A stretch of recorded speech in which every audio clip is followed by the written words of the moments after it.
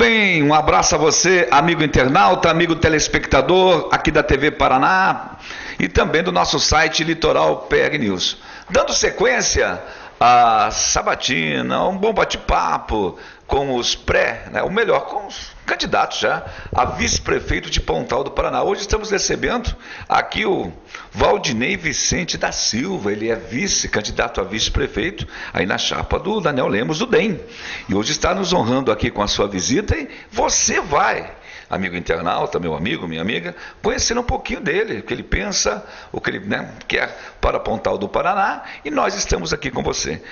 Valdinei Vicente da Silva, mais conhecido aqui como Ney da Pesca. Ney, que bom tê-lo conosco, um abraço. Eu pergunto a você, o que você faz aqui em Pontal do Paraná? Quantos anos você tem? Fala um pouquinho para os nossos internautas, olhando ali a nossa câmera, a lente da verdade. Boa tarde, boa tarde pessoal do Pontal do Paraná, família pontalense. Meu nome é Ney, mais conhecido aqui na praia como Ney da Pesca. Moro há 46 anos aqui, né? É, já tive acompanhando toda a história do nosso município aí, de emancipação, os prefeitos que vieram e me enganjei nessa, nessa caminhada com o Daniel, porque eu acredito nele, é um rapaz capacitado e a gente está aí para enfrentar essa, essa candidatura, né? Pleitando esse, a prefeitura e estamos aí com o Daniel, nessa força aí, queremos somar mais junto com ele. Quantos anos, Ney? 46 anos. Aqui você em Pontal é empresário? Qual é a é, sua? Eu já tive comércio, sou comerciante aqui, trabalhei na área de construção civil, na, sou técnico em refrigeração, ar-condicionado e hoje eu voltei porque eu, que eu gosto, que foi já da minha de berço do meu pai, que foi pesca, né? Então hoje eu Estou pescando já profissionalmente. Que legal, vamos falar com um pescador aqui, importante, porque nós falamos com todos os segmentos da sociedade. Casado? Casado há 26 anos. É, filhos? Quatro filhos. Netos também? Netos, não tem nenhum ainda. É, mas que bom. Um forte abraço a toda a sua família. E ao meu lado, nosso sempre convidado especial, Edilson Alice. Que bom tê-lo conosco mais uma vez, Edilson. Seja bem-vindo e deixo você minha vontade para fazer uma pergunta também a hoje o nosso convidado aqui, o candidato a vice-prefeito, Ney é, Pescador, Ney da Pesca, que é né, vice-prefeito candidato na chapa aí do Daniel Lemos, a chapa do DEM. Obrigado, Marco Aurélio. De novo é uma honra estar aqui presente nesse, Obrigado. nesse neste evento, digamos assim. E estou conhecendo hoje o Ney da Pesca, né? É, e acho, me passou assim uma boa, uma boa impressão à primeira vista, disse que é, boa, é o que fica, né? Então ele me passou uma boa impressão. Obrigado, obrigado. E como nós estamos no momento político, e isso aqui é, é esta a questão, né, que estamos aqui tratando, eu gostaria de saber qual tua, tua, tua história política, se você tem, já, este, já esteve, já concorreu a algum cargo, já esteve alguma participação na política, ou essa é a sua nova missão, digamos assim, que você está escolhendo agora? Bom, pessoal, a minha, na política a gente já participou indiretamente, já participou de campanhas passadas, já coordenei campanha aqui em Pontal do Paraná. E a gente já vivenciou bastante situação aqui de política aqui que não agradaram, né? Então, assim, na campanha mesmo, a primeira, essa primeira vez que eu estou entrando, a gente tem conhecimento de causa de todos os problemas do município, então a gente resolveu entrar nessa briga agora. Eu quero perguntar para você, eh, Ney, da pesca, por que você de repente foi convidado e aceitou. Por que estar ao lado de Daniel Lemos? Olha, eu tenho, como eu falei uh, anteriormente, eu acompanho a história de Pontal do Paraná desde o do começo dela, né? Eu sou assim um nativo daqui. Eu sou do tempo que você entrava num ônibus e você cumprimentava todo mundo, sabia quem era quem. Hoje Pontal é, é, é muito grande, é, é mudou bastante. Então, assim, eu venho acompanhando todos os prefeitos que saíram, eu conheço todos os candidatos que estão vindo aí, são amigos pessoais da gente, a gente sabe separar a política de, de, de, de amizade, mas hoje a gente não escolhe o amigo para prefeita, né? Hoje a gente escolhe o gestor, o prefeito da cidade. Então, eu tenho uma amizade já longa com o Daniel também, a gente já vinha acompanhando isso aí, esse trabalho, essa, essa pretensão dele de pleitar esse um município. E conhecendo mais a fundo, vendo a capacidade hoje, eu prego para o meu, pro meu eleitor, é isso aí, a capacidade de, de gestão. Né? É, conhecimento, ele é um bom advogado, trabalha, é professor, conhecimento do, é, tem conhecimento do, da, do município, vive aqui, trabalha aqui, tem filho aqui. Então eu acho, para mim, é o mais capacitado. Né? Edilson, é você. É, você como pescador, como você vê essa questão do progresso do, do porto até, né, dessa questão muito cogitada no hum. momento, essa questão, né, que é o progresso. É, qual é a sua opinião a respeito disso? Você, como, como pescador antes e depois como um futuro, talvez, né, é, é, gestor, ou juntamente com o Dr. Daniel, como que você vê essa questão assim? Do, do porto? Isso, do porto e o progresso que ele traria junto, né? Olha, eu, eu tenho, uma, eu tenho uma, uma posição, assim, o meu modo de ver Uhum. É que Pontal ela cresceu assim, Pontal do Paraná cresceu por ela própria, né? Teve muito, foi muito falho, os gestores foi muito falho, muita promessa, pouca vontade, acho que muita pouca vontade dos gestores.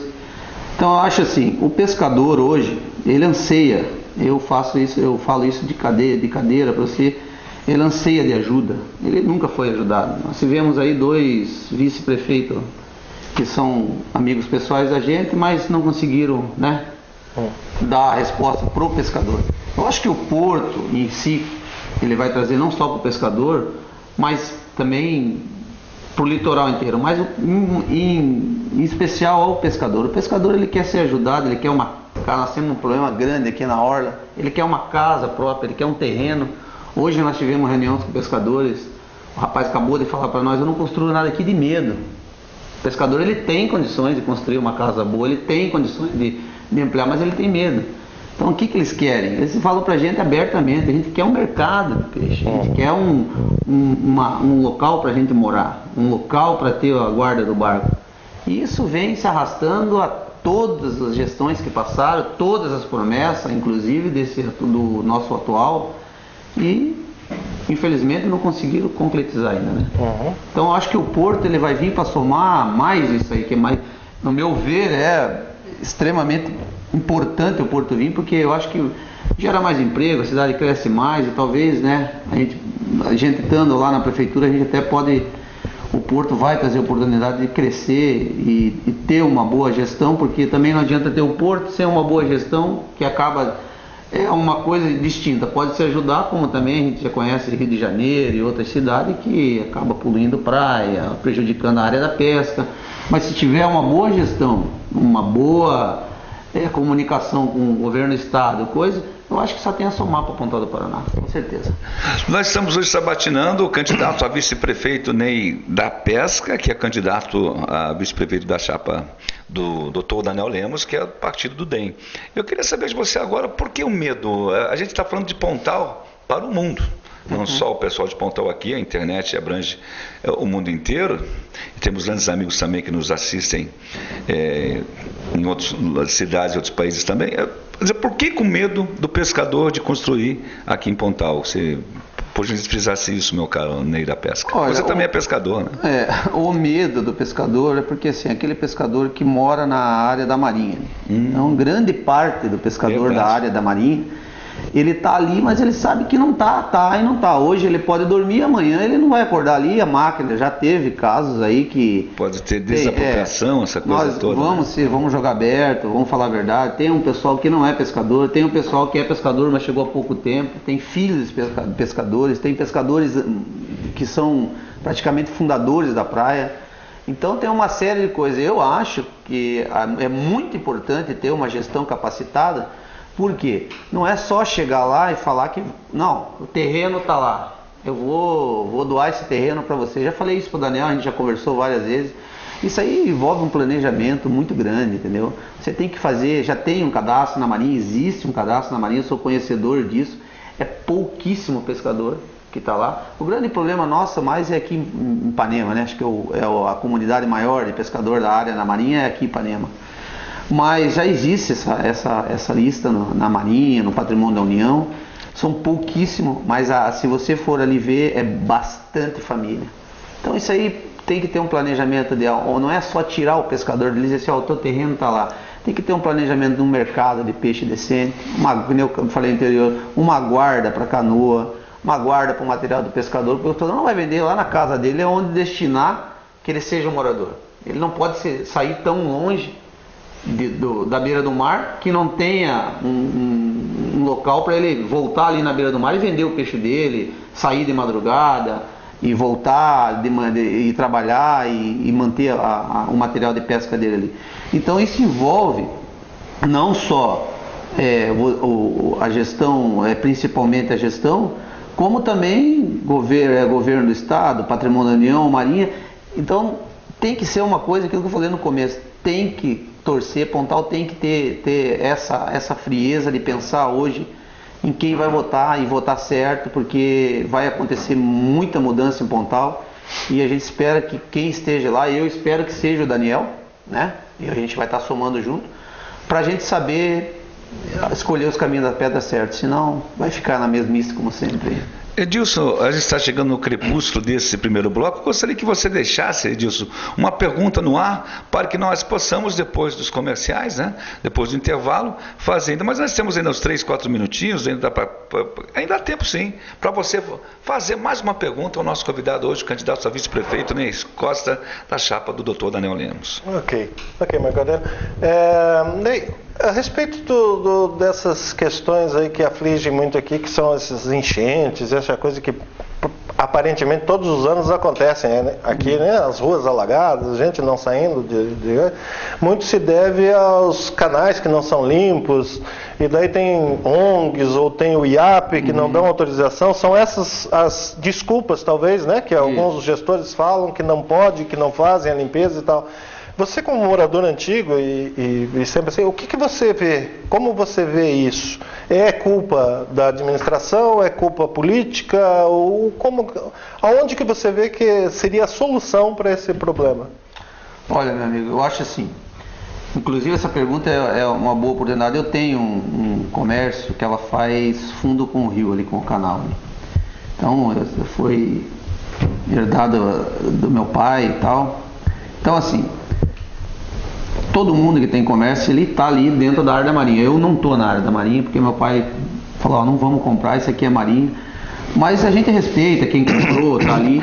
Só que a gente sou obrigado a acompanhar aquele canal ali, como é que é, a enchente, enche, a rua debaixo aqui, de, de, no meu balneário ali, do Costelão de Ipanema ali, do, ela enche, ela fica com água pelo joelho, aquela...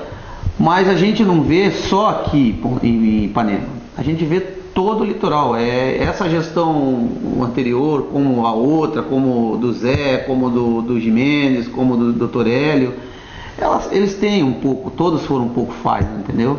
Eu acho que devia ter assim, um estudo mais, mais aprofundado, o, o, o gestor devia ver com isso aí com mais carinho, tem várias coisas para ver, mas isso aí é muito importante, porque quando a gente tem uma temporada de chuva, vocês mesmos já devem frequentar a praia aqui, é um desastre sabe? É carro encalhado, é, é rua alta temporada, nosso lençol freático é baixíssimo, uhum. né? Todo mundo fala, ah, mas eu, é, a culpa é do lençol freático. Mas vamos fazer um estudo. Então, vamos mas, fazer uns piscinão. É, mas segundo o prefeito, até apareceu um vídeo esses dias atrás ali, que isso é culpa de não darem, não concederem licença, que não é da alçada da prefeitura essa limpeza de canais, essa questão aí. É, não sei se você está a par disso não, ou não.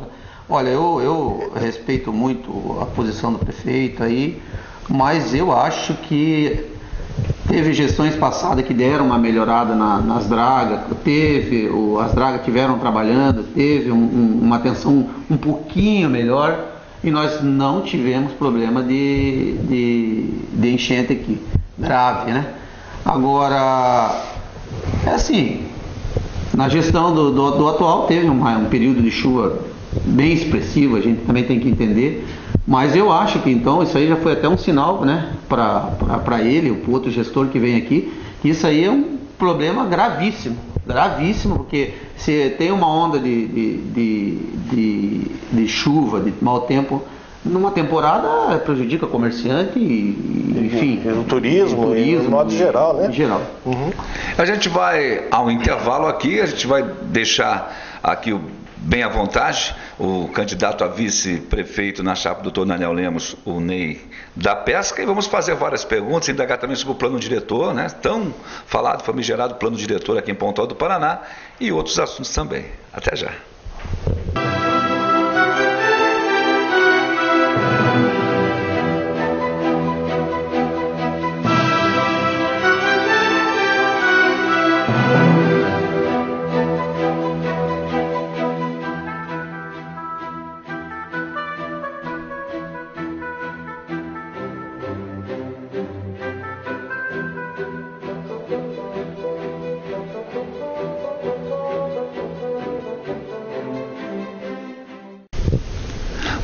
Estamos de volta hoje aqui na TV Paraná, também no site Litoral PEG News, nas nossas redes sociais, no nosso canal de YouTube, TV Paraná. Hoje sabatinando o candidato a vice-prefeito da chapa do doutor Daniel Lemos pelo DEM, Ney da Pesca. Ney, uma pergunta foi feita pelo nosso convidado especial, que é o Edilson Alves, a respeito do Porto. Eu pergunto a você, e esse plano diretor, hein? Também está atrasando um pouco o desenvolvimento de Pontal do Paraná. Como é que você vê a situação do plano diretor? É, o plano diretor, o tão esperado plano diretor, né? Todo mundo tá, quem entende um pouco, anseia por esse plano. Ele acho que vem desencravar assim ele vem livrar Pontal, né, para crescer, ele vem abrir um, um, um leque de, de, oportunidade de Pontal crescer que é quem tem que se informar um pouco fica impressionado de, de, de, de saber o que vem. Agora, é aquilo que eu falei lá no começo, isso. tem que ter o plano diretor com uma boa gestão também. Não adianta um plano diretor sem boa gestão. E eu acho assim que vem se arrastando Matinhos, Guaratuba, na mesma época que era para ser aprovado o nosso, sempre o nosso era deixado de lado, o Colite reprovava o nosso plano diretor. Então faltava sempre um deputado atuante, um, um, um cara de mão firme, é, faltava empenho de, de, de, prefeito, sempre tinha um, um entrave que, que, que, nos dava.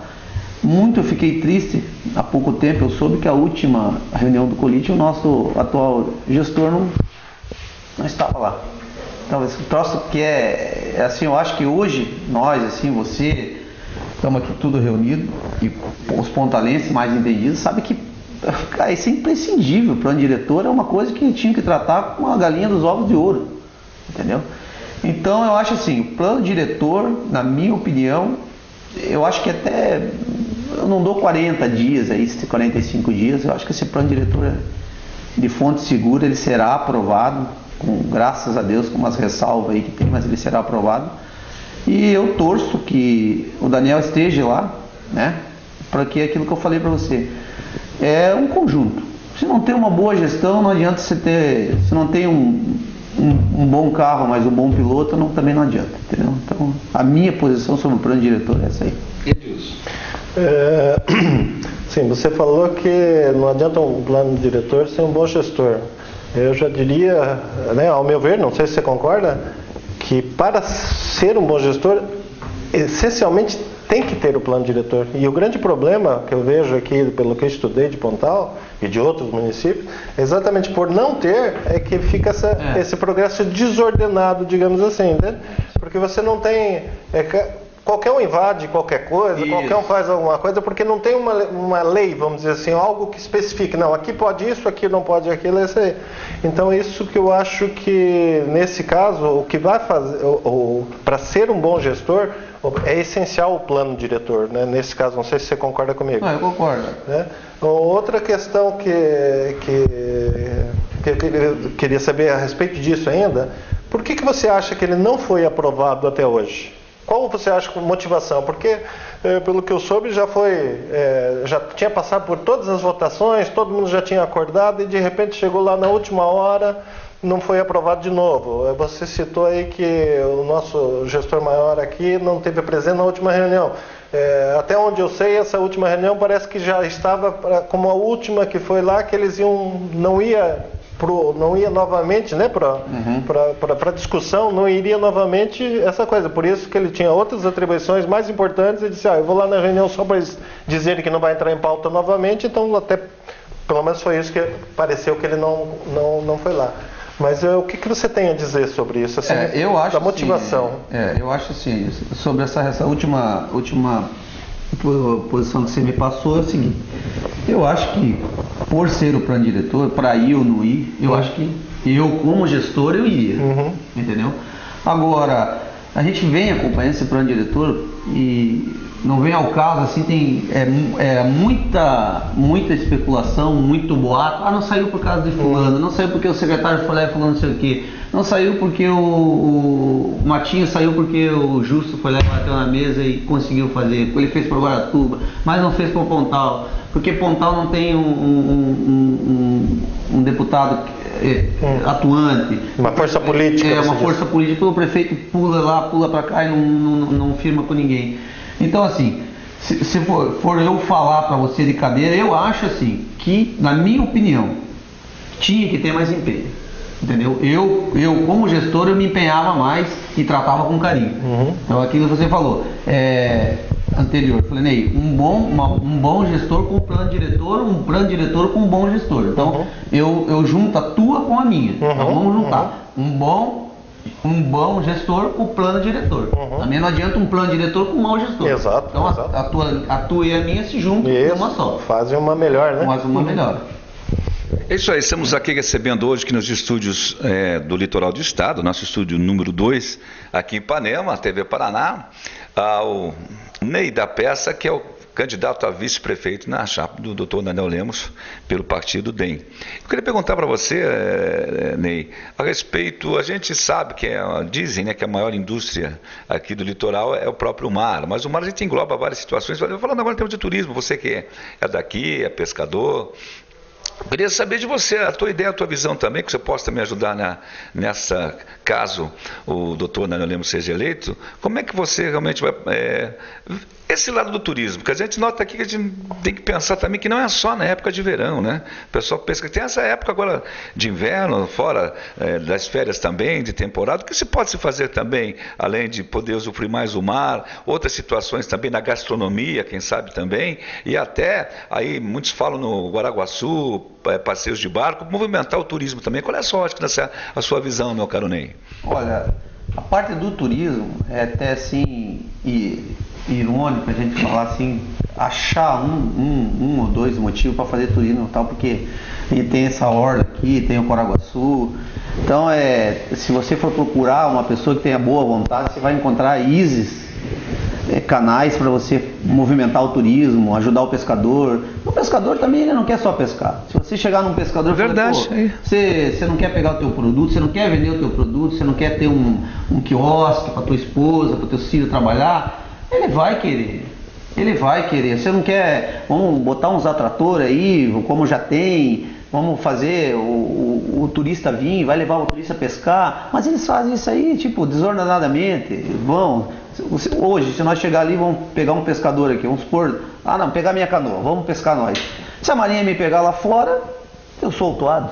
É, a marinha não vai deixar você pescar. Por quê? Não, é, por quê? Porque você não tem licença, teu barco é, é só tem para quê? Para três pessoas, você vai estar com cinco, então, tem várias coisas. Então, hoje a área do turismo aqui, para nós que já viajamos aí um pouquinho para o Nordeste, para coisa, a gente vai para lá fica espantado. Santa Catarina aqui do lado, fica espantado de ver, pô, mas são uns troços tão simples, por que, que não acontece na minha Aí voltamos lá também, né? Vamos dar um, um pouco de ressalva para os nossos anteriores e o atual. É, vai barrar no plano diretor, vai barrar nisso aí. Então estamos assim, Pontal hoje tem que acordar que agora quem entrar aqui na próxima eleição, quem for eleito, ele vai ter bagagem para fazer. Mas nós temos que escolher o gestor ideal, o certo. Esse cara ele vai ter essas armas na mão. Aí eu acho que. Então o turismo para mim assim é, é uma coisa assim que Pontal tem, tem ISIS, é, canais para você ajudar tanto o pescador como o ambulante, é, o pessoal do Paraguaçu, essa já foi, você mesmo já sabe, já foi falado em alagar aquele canal. Para ficar navegável, para isso, mas é aquilo que a gente sempre fala, não sai do papel e um fala que é o plano diretor, o outro fala que não deu, o outro inviabilizou. E o tempo vai passando, é, né? O tempo vai passando e nós estamos aí. Edilson. É, vamos falar sobre algo muito importante que eu acho que é o essencial de qualquer gestão, questão saúde pública. Como que você vê a saúde atual, ou melhor, é, anterior e a, a, atual, na atual gestão a respeito da saúde aqui no nosso município? O que você acha que houve de acertos, erros e, e também já citando para juntar no assunto para no, nos alongarmos muito a questão do hospital que está aí, uhum. né, essa, essa, necessidade. Olha, é, eu, eu acho assim, a saúde a gente entende que todo gestor que chega assim, eu, eu vendo de fora eu acho assim, tem aquela fatia da educação, da saúde e tal. Então a fatia da saúde é assim, o que, que os nossos gestores apresentaram até hoje para nós? É aquela fatia que tem da saúde mesmo, é ali, é colocada ali, melhora um pouco num, piora no outro. Eles têm o, é o, oscilações, tá? É, o, o, passado ia, ia bem, um pouquinho bem, aquele outro vai um pouco melhor, aquele investe mais mas não tem assim a saúde. Hoje o Brasil não seria isso, mas nós estamos falando de Pontal do Paraná, longe de ser uma boa saúde, entendeu? Uma boa. E até você foi bom você tocar nesse assunto da saúde, que há pouco tempo, vamos fazer bem rapidinho, que o tempo é. Eu tive uma, uma visita num, aqui numa, num posto de saúde, inclusive, o ressalto foi bem, bem recebido, bem tratado. E teve um caso ali que a moça falou pro rapaz, estava reclamando, e ela falou que não podia reclamar porque era de graça. E eu chamei a moça no canto do casamento e falei, olha moça, você paga imposto, eu pago imposto, e a gente paga IPTU. Então eu vou falar uma, vou esclarecer que isso aí não é só ali, porque eu já vejo assim, o povo, a gente vê o povo em geral assim, eu vou lá porque é de graça. Uhum. Eu vou no SUS. O SUS é o único, o único plano de saúde pago adiantado. Uhum. Com o orçamento do ano passado ele está investindo ali. Então, o salário da atendente, o salário do médico já é pago. Então, o SUS não é pago. Mas eu acho assim, nós estamos assim a longe, muito longe de ser uma saúde ideal aqui. Sabe? Hoje nós temos aí, eu fui convidado para ir na, na ficha que eles pegam para exame de sangue em Pontal do Paraná. Tem 15 fichas para Pontal do Paraná. Você tem 15, você tem que chegar 4 horas da manhã no horário da vez. Hoje eu fui constatei lá, não tem uma área abrigada, é fechada a porta. Então um pai com filho, uma mulher, uma mulher grávida que precisa, um, um cara enfermo, ele tem que ficar no tempo, não, hoje, no caso que eu fui lá, frio, chuva. Então a saúde de Pontal do Paraná eu acho assim que está muito aquém. E para completar o hospital, o hospital é, eu acho assim, uma, uma ironia imensa de qualquer gestor vir falar para mim que vai fazer um hospital. Você, se entrar na prefeitura, o governo do estado vai te ajudar, você vai fazer o hospital. Agora, quem tem um pouco de noção de gestão sabe que o hospital todo mundo faz. Hum. O problema, se nós não temos um orçamento que não dê uma, uma saúde adequada para nós, não conseguimos. Nossos médicos hoje estão praticamente indo embora daqui. Todo mundo reclama, você vai no posto de saúde, o médico reclama, então, como que nós vamos manter um hospital aqui? Mas você sabe que Guaraqueçaba, que é uma cidade muito menor do que a nossa e tal, ela tem um hospital e é mantido, né? Já há alguns anos. Né? Então, você acha que é, Pontal, mesmo com os recursos que tem, com os incentivos federais e estaduais, ela não tem condições de manter um hospital funcionando, não só de construí-lo? É. Você veja bem, Paranaguá tem, tem hospital mantido pelo governo lá, o, o não tem hospital municipal. Uhum. Sim, sim. Matinhos tem, eu falo de caso que eu já usei o hospital de Matinhos. Os, o pessoal lá, eles, ou eles berram por ajuda, entendeu? Então, é, eu acho, a minha ideia como, como o meu gestor, que eu já passei para ele, seria assim, as, as, três prefeituras se juntarem, tá? um gestor com a cabeça aberta, fazer um hospital num local estratégico Aí sim teria um hospital todo, porque também um hospital, eu conheço Guaraxaba, conheço Antonina, vendi é, medicamento em Antonina, vendi em Guaraxaba, vendi em Morretes, e é precário. É precário, você sabe, é um pouco melhorzinho do que o nosso posto de saúde aqui. Tem uma ambulância e tem um leitinho lá para você dar um remédio. Eu estou te falando isso porque eu já vendi material médico e já vivi isso aí, conversava com o gestor do hospital, tratava direto com o médico, inclusive pediam para a gente se não tinha amostra grátis, remédio para dar, porque eles ansiavam, que a prefeitura não conseguia manter, entendeu? Então eu acho assim que, lógico, com essa ajuda, com fazer isso aí, nós temos. Hoje eu não vejo, tanto que o atual prefeito já prometeu isso na gestão passada e nem foi cogitado Mal ele conseguiu abrir 24 horas ali, que também era um caso só de abrir. Né? Ney, nós temos um minutinho ainda. Eu gostaria que você ficasse à vontade com as suas considerações finais. Pode pedir voto para você, para sua chapa, doutor Dana Lemos, para o pessoal do DEM. Fique à vontade aqui com as suas considerações finais, por gentileza, Ney. Obrigado. Bom, eu queria ressaltar aqui é, a eleição de Pontal do Paraná. Nós somos hoje taxados como o o povo do dinheiro, né? O povo que vem é mentira, isso é mentira. Eu, eu não consigo acreditar nisso, porque eu estou há 46 anos aqui eu desafio qualquer candidato que vem aqui me mostrar, provar que me deu dinheiro. Para votar, eu acho que não. Conheço amigo meu, sei que família séria, são gente séria. Então, assim, eu faço um apelo aqui para Pontal do Paraná que seja, que seja que leia a proposta, que, que, que analise seu candidato, que receba, que hoje está difícil, eu sei, é, daquilo que a gente falou aqui no começo, é promessa em cima de promessa e promessa e fica na mesmice. Mas hoje nós estamos assim à beira de acontecer um, um, umas coisas boas aqui, que nem o plano diretor. E vai, a gente vai ter assim, vai ter a sorte de ter um bom gestor em Pontal do Paraná. Eu acredito no meu, no meu candidato, no Daniel, a gente está junto aí, eu estou pleitando a vice-prefeito com ele. E a gente está aqui com um trabalho, nosso trabalho é uma, uma campanha humilde, né? A gente está trabalhando, visitando família, amassando barro, como o pessoal fala por aí. E eu, eu acho assim que acredito, e acredito hoje, a gente tem recebido também bastante apoio de família, a gente tem que Pontal vai, vai acordar ainda em tempo e a gente vai acertar essa, essa, esse passe para as próximas gestões. E o nosso número é 25, né, que todo mundo sabe, nós somos democratas. E a gente está aí pedindo voto, pedindo mesmo, você tem que pedir o voto, né? A gente não pode esquecer de pedir esse voto para o Daniel, para os 25.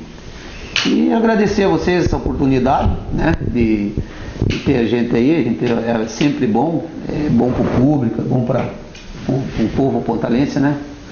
E eu tenho mais a agradecer a você essa oportunidade aí que está dando para gente. Eu quero agradecer a sua presença, também o doutor Daniel Lemos aqui, né, que está nos bastidores. Agradecer o Edilson é, Alice também, muito obrigado. A toda a nossa equipe, a você, amigo internauta. Eu lembrava né, que o doutor Daniel me contou, quando visitar uma família mulher. Não, vocês são do partido do Obama, né, os democratas, do presidente dos Estados Unidos. Legal isso, um abraço a todos. Fiquem com Deus, muito obrigado. Até a próxima. É a nossa TV Paraná, o site Litoral PEG News, a serviço do povo, utilidade pública e da democracia também em Pontal do Paraná, no nosso Brasil.